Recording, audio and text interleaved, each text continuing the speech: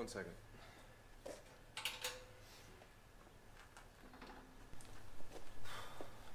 Hey, we're some guy outside, and this is our 1995 Jeep Cherokee. And on the back here, we have a Smittybilt XRC rear tire carrier and bumper. And for the price point, it is the cheapest on the market, or at least it was five years ago when we got it. I'm pretty sure it still is today. It was designed in like the 90s, I think.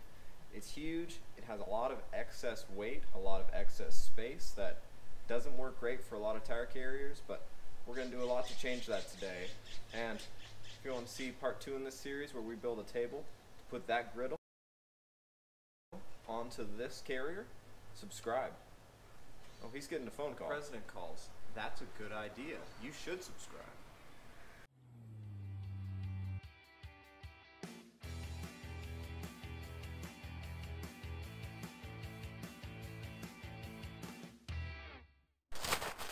Was designed to have a jerry can sit off to the left here and MOLLE panels on the right.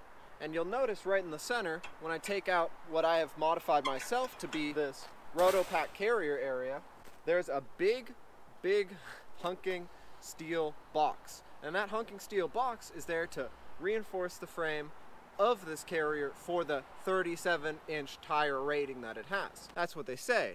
But let me tell you. Now, what that does is eats up a lot of your storage space. And I've actually struggled to find jerry cans that fit in the area that's supposed to be your jerry can storage.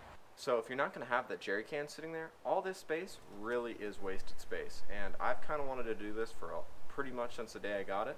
But my plan, take this, chop it in, because we've got a whole lot of dead wasted space that we can then move it in six inches Thank you.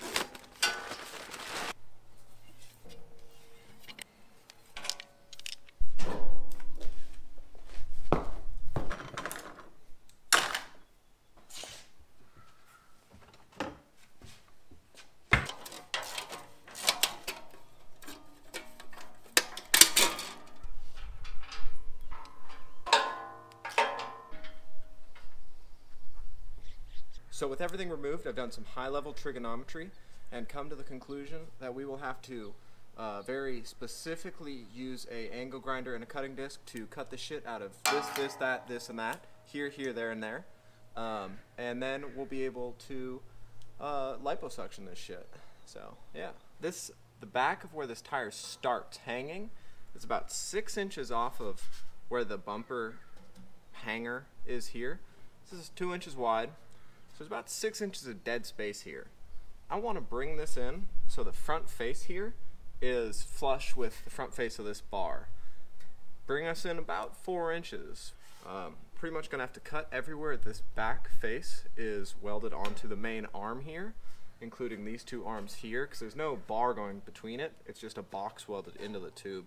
So I'm gonna mark it up and we'll get cutting.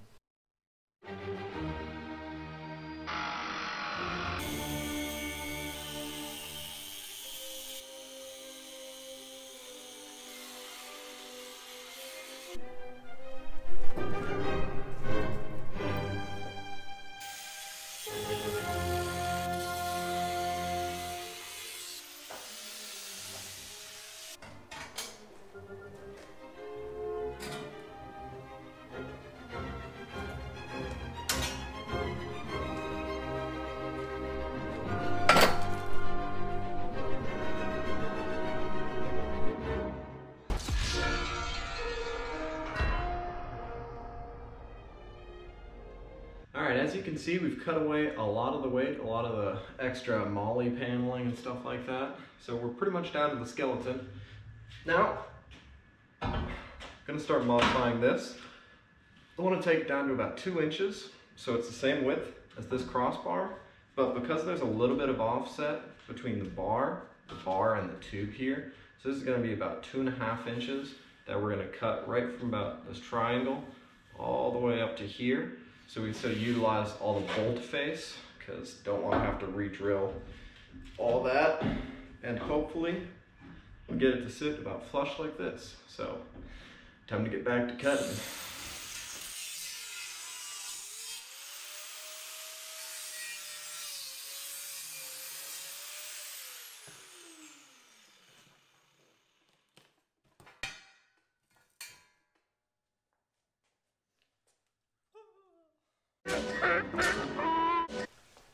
Got it chopped up, kind of jerry rigged it in place.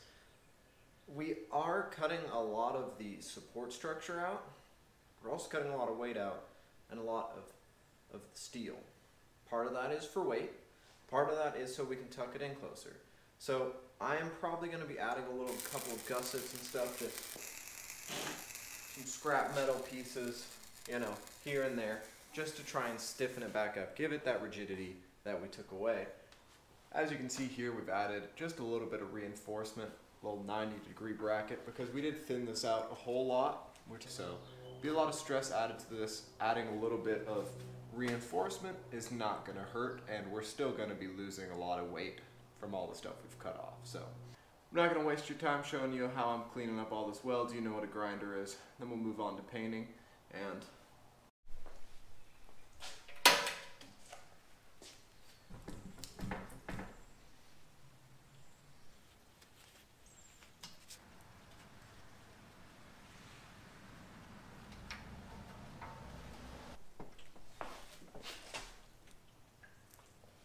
This is such a bad design. There's just kind of like a free floating, faceless nut on the inside tucked in here.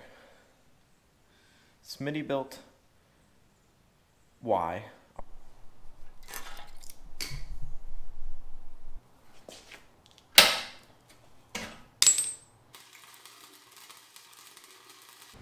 So you just saw me weld in this piece permanently into the bottom under the uh, tire carrier hinge setup.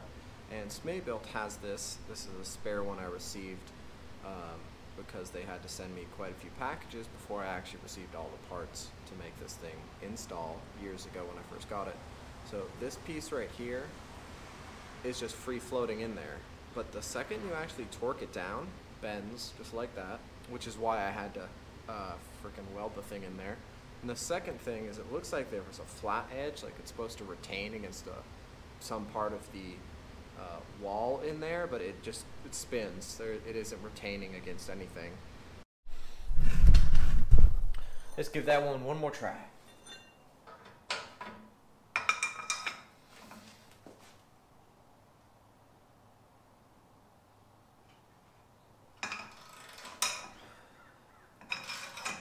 Oh yeah. Harbor Freight Welder to the rescue once again.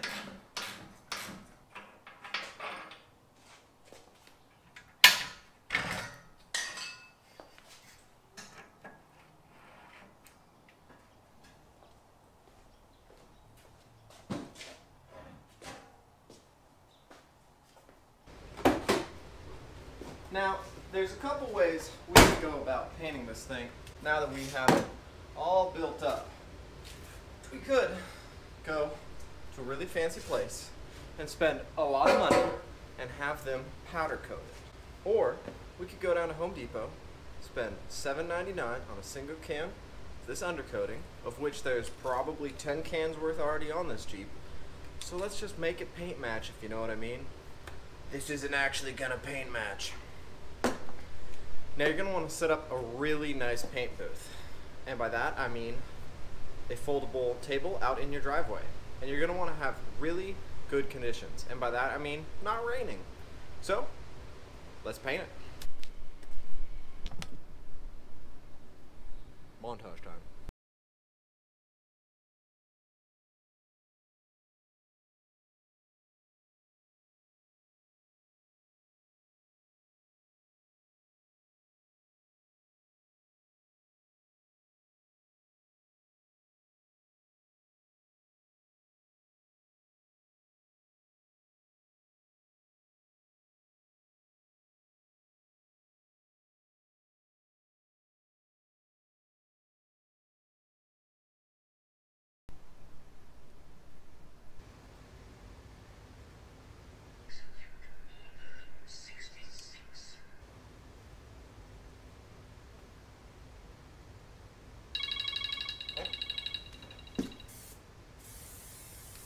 The next day.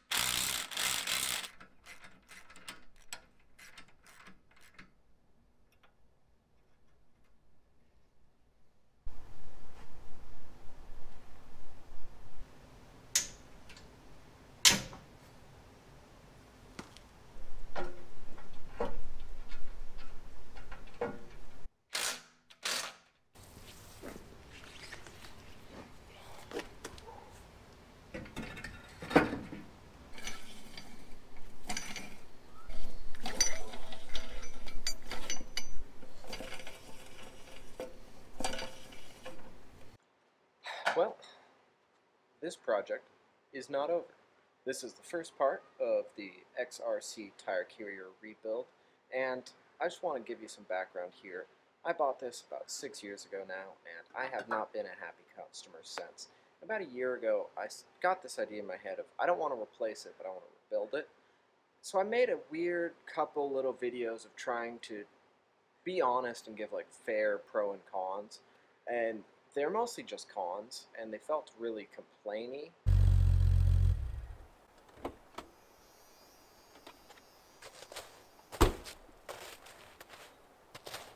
Hi, I'm some guy.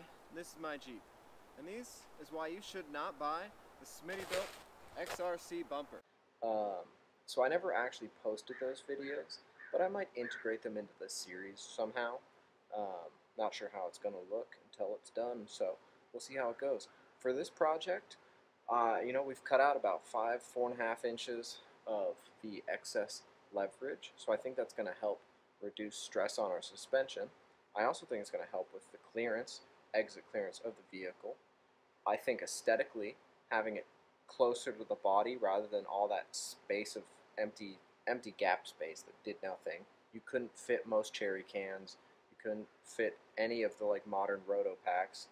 Um, you know, there wasn't an ability to have what we're going to do in part two here, which is build a tray table or a tailgate table. There are no third-party companies supporting this XRC even Smittybilt doesn't do a whole lot, if anything, extra stuff for the XRC tire carrier. So follow along if you want to see the next parts in these series. Like, subscribe, comment down below if there's any tips, tricks, or things that you saw in this video that you think I could have done better. I'm always happy to learn. So remember, follow along here, follow along on Instagram, some guy underscore outside, and if some guy can do it,